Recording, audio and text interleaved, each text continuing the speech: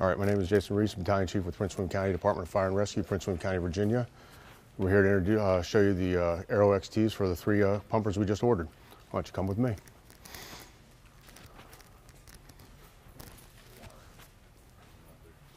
This is the uh, newest pumper, the Arrow XT that we just ordered. Um, it's designed for roller protection, airbag protection, as well as uh, the narrow frame rails to give us a shorter wheelbase, which will help with our turning radius. All right, we currently use the Arrow XT on all of our apparatus, our ladder trucks, our engines, as well as our, our heavy rescues. So the Arrow XT is uh, what we use for everything. Um, we have the raised roof for a 10-inch raised roof for easy access for uh, entry and exit into the uh, cab of the uh, engine. So here we have the Hale pump. It's a 1500 GPM pump. It's uh, 750 gallons with uh, two foam cells, 40 gallons each.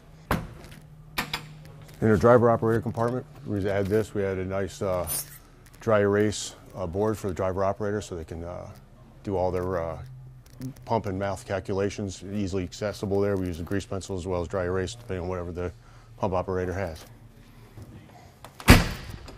So in the rear of the pumper, we kept everything set up to be um, ergonomic. So we lowered the hose bed as low as we can get it to help reduce back injuries, as well as uh, uh, easy access to the compartments up top. So up top, we have a custom body with the uh, upper hatch uh, compartments, as well as a uh, hydraulic generator, which we'll show you to you here in a second. So your generator with cord reel sits right here.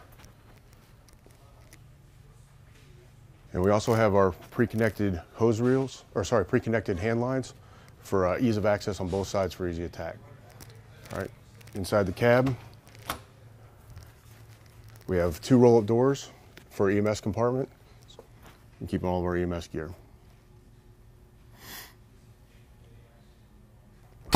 So the last thing I'll touch on is the uh, Telma that we have as our transmission retarder to help reduce uh, our stopping distance as well as decrease our brake wear and uh, transmission wear.